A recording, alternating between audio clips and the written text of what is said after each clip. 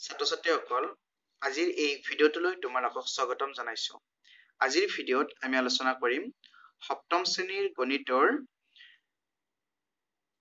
অধ্যায় এক অখণ্ড সংখ্যা।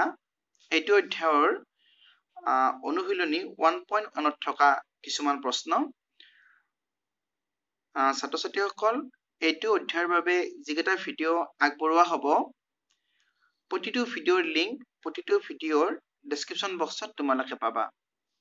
গতিকে বোলাচোন আজি আমি কুৱেশ্যন নম্বৰ ওৱানৰ পৰা আৰম্ভ কৰোঁ। কুৱেশ্যন নম্বৰ ওৱানটো কি কৈছে? ফাইভ আৰু মাইনাছ থাৰ্টিনৰ মাজত কিমানটা অখণ্ড সংখ্যা আছে? এতিয়া তোমালোকে চাই লোৱা। এইটো সমাধান কৰিবলৈ আমি সংখ্যা ৰেখা ব্যৱহাৰ কৰিব পাৰোঁ নতুবা আমি মুখে মুখে কৰিব পাৰোঁ। ধৰা আমি এইটো জিৰ' ললোঁ। আমি সংখ্যা ৰেখাত এই পইণ্টটো আমি ল'লোঁ জিৰ' তাৰপিছত এইটো হ'ব one two three four five আৰু এইপিনে ল'ম minus one minus two minus three minus four minus five minus six minus seven minus eight minus nine minus ten minus eleven minus twelve এইটো হ'ব মাইনাছ থাৰ্টিন এতিয়া প্ৰশ্নত কৈছে five আৰু minus থাৰ্টিনৰ মাজত কিমানটা অখণ্ড সংখ্যা আছে? এইটো ফাইভ এইটো হ'ল মাইনাছ থাৰ্টিন গতিকে ইয়াৰে মাজত কিমানটা কিমানটা আছে অখণ্ড সংখ্যা সেইটো আমি হিচাপ কৰি চাবা। One two three four five six seven eight nine ten eleven twelve thirteen fourteen fifteen sixteen seventeen অৰ্থাৎ সোতৰটা আছে অখণ্ড সংখ্যা। গতিকে ইয়াৰে উত্তৰ হ'ব সোতৰ ছেভেনটিন বা নতুবা তোমালোকে এইটো এইদৰে কৰিব পাৰিবা যে ডাঙৰ সংখ্যাটো আছিল ফাইভ আৰু সৰু সংখ্যাটো আছিল কিমান?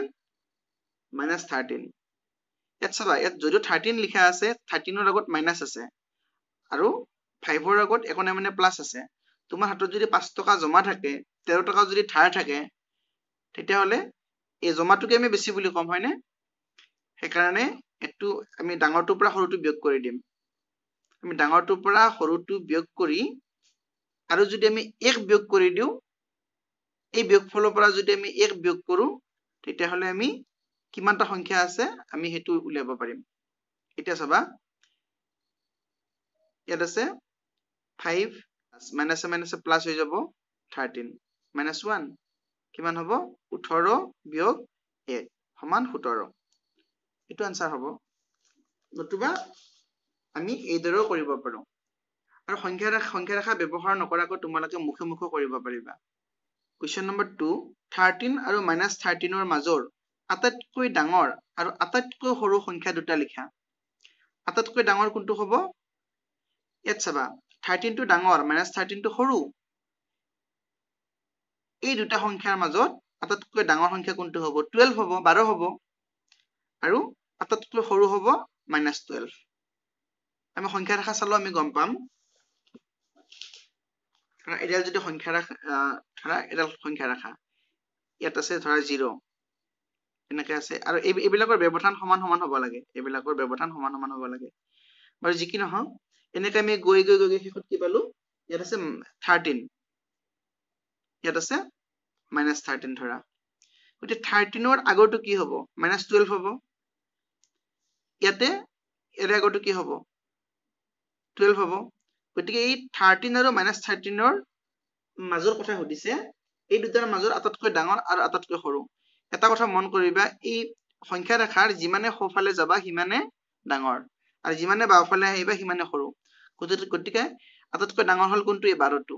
আৰু আটাইতকৈ সৰু হ'ল এই মাইনাছ বাৰ মাইনাছ টুৱেলভ থাৰ্টিন আৰু মাইনাছ থাৰ্টিনৰ মাজৰ আটাইতকৈ ডাঙৰ আৰু আটাইতকৈ সৰু অখণ্ড সংখ্যা দুটা টুৱেলভ মাইনাছ টুৱেলভ তলত দিয়া অখণ্ড সংখ্যাবোৰ সংখ্যা ৰেখাত বহুৱা।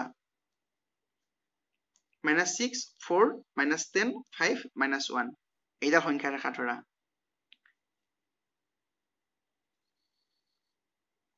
আমি এই বিন্দুটো ললো জিৰ' আমাৰ সুবিধাৰ কাৰণে ঠিক আছে?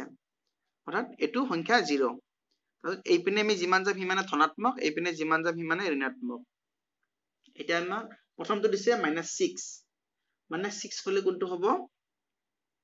মাইনাছ ছিক্স হলে মাইনাছ হলে বাওঁফালে যাব লাগিব প্লাছ হলে সোঁফালে যাব লাগিব। গতিকে মাইনাছ ছিক্স হলে one two three four five six এইটো হ'ব। এইটো হ'ব মাইনাছ ছিক্স আৰু ফ'ৰ ফ'ৰ হলে সোঁফালে যাব লাগিব। এক দুই তিনি চাৰি। এইটো হ'ব four minus ten minus ten হলে আকৌ বাওঁফালে যোৱা শূন্যৰ পৰা এক দুই তিনি চাৰি পাঁচ ছয় সাত আঠ ন দহ। অৰ্থাৎ এইটো হ'ব মাইনাছ টেন তাৰপিছত আছে ফাইভ এইটো ফ'ৰ আছিলে গতিকে এইটো ফাইভ হ'ব। তাৰপিছত মাইনাছ ওৱান মাইনাছ ওৱান হলে জিৰ'ৰ পৰা শেষৰ এইপিনে যোৱা বাওঁফালে যোৱা minus one question number four minus ফিফটিনতকৈ ডাঙৰ পাঁচটা ঋণাত্মক অখণ্ড সংখ্যা লিখা। মাইনাছ ফিফটিনতকৈ ডাঙৰ হ'ব লাগিব। আমি পাঁচটা ঋণাত্মক অখণ্ড সংখ্যা লিখিম। তোমালোকে চাবা এইডাল সংখ্যা ৰেখা ইয়াত ধৰা জিৰ' আমাৰ সুবিধাৰ কাৰণে আমি জিৰ'টো ইয়াত ললো। ওৱান টু থ্ৰী এনেকে গৈ থাকিব। বা বাওঁফালেও এনেকে আহিব। Minus one minus two minus three minus four minus five এনেকে আহি থাকিব হয়নে? তাৰপিছত ইয়াত কি কৈছে? যে মাইনাছ ফিফটিনতকৈ ডাঙৰ ধৰা আহি আহি আহি ইমানটো মনত পালো আমি মাইনাছ ফিফটিন এতিয়া মাইনাছ ফিফটিনতকৈ ডাঙৰ হলে আকৌ ঋণাত্মক হ'ব লাগিব কিন্তু। গতিকে এই জিৰ'ৰ পৰা বাওঁফালে হ'ব লাগিব। গতিকে কি কি হ'ব পাৰে? আৰু হ'ল মাইনাছ ফিফটিনতকৈ যিহেতু ডাঙৰ গতিকে সংখ্যা ৰেখাৰ সোঁফালে হ'ব লাগিব। সোঁফালে হ'ব লাগিলে মাইনাছ ফৰ্টিন হ'ব পাৰে মাইনাছ থাৰ্টিন হ'ব পাৰে মাইনাছ টুৱেলভ হ'ব পাৰে মাইনাছ ইলেভেন হ'ব পাৰে এনেকে আহি আহি আহি মাইনাছ ওৱান পৰ্যন্ত হ'ব পাৰে। গতিকে আমি যি ইয়াৰে যিকোনো মাইনাছ ফৰ্টিনৰ পৰা আৰম্ভ কৰি মাইনাছ ওৱানলৈকে আমি যিকোনো আমি ইয়াৰ পাঁচটা লিখিলেই হ'ল। কাৰণ মাইনাছ ওৱানৰ পৰা এই মাইনাছ ফৰ্টিনলৈকে এই আটাইকেইটা যিহেতু ঋণাত্মক হ'ব। আৰু আটাইকেইটাতো ঋণাত্মক হ'বয়ে তাৰোপৰি মাইনাছ ফিফটিনৰ সোঁফালে থকা কাৰণে গোটেইকেইটা মাইনাছ ফিফটিনতকৈ ডাঙৰ হ'ব।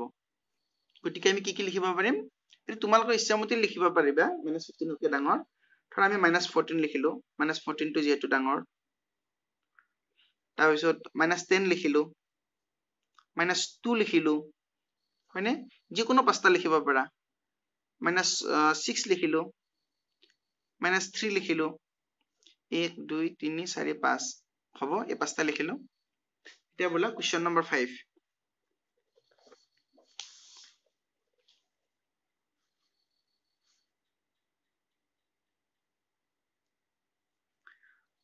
সত্য নে অসত্য কোৱা? প্ৰথমটো আছে ধনাত্মক অখণ্ড সংখ্যাবোৰক স্বাভাৱিক সংখ্যা বুলি কোৱা হয়। এইটো সত্য। কিয় সত্য চাবা? ধনাত্মক অখণ্ড সংখ্যাবিলাকক স্বাভাৱিক সংখ্যা বুলি কৈছে। এইডাল সংখ্যা ৰেখা। ইয়াত আছে ধৰা zero' one two three four five six এইবিলাক চব ধনাত্মক। One two three four five six. এই এই সংখ্যাবিলাকক কি কয়? ইয়াত কি কৈছে? ধনাত্মক অখণ্ড সংখ্যাবোৰক স্বাভাৱিক সংখ্যা বুলি কোৱা হয়। আমি জানো এক দুই তিনি চাৰি পাঁচ ছয় এইবিলাক যদিও ধনাত্মক সংখ্যা যদিও ধনাত্মক সংখ্যা আৰু ইয়াৰ লগতে এইবিলাক স্বাভাৱিক সংখ্যাও হয়। এক দুই তিনি চাৰি পাঁচ ছয় বা সাত আঠ ন দহ যিমান আছে অসীমলে। গতিকে ইয়াৰে উত্তৰটো কি হব? শুদ্ধ হব।